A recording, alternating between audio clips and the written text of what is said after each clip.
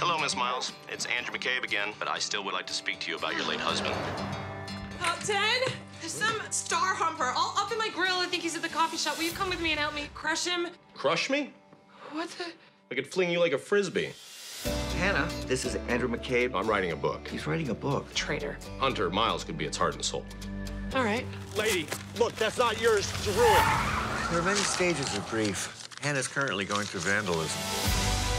You got 30 seconds. Make your case. Hunter Miles, a sensitive soul who gives us a single, nearly perfect album from the woods of Maine, and then poof, he's gone. What happened?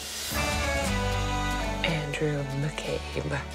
Don't look at me with that tone of voice. I have a proposition. Have you ever written a biography? I see what's going on here. You're just a crazy person. Yes, apparently, because I think that you have half a brain. And I need it. I will bring my swim trunks.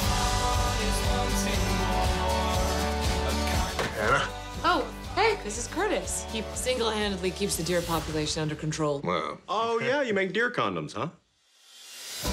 Mom had brought a friend along. Oh, hi.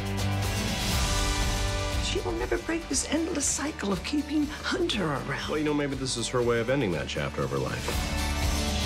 Why do you want to write this book? Because I had so much love left in my arsenal and I never got to spend it. Where are you taking me? You'll see.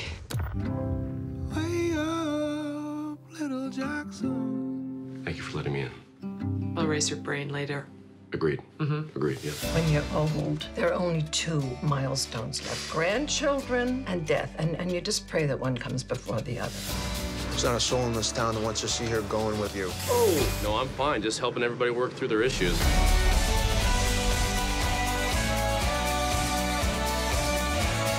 What do you want me to say? I don't know. I just like it when you say things. Now, do you feel that? I want to. You're right. You're right. You're sleeping. My fault.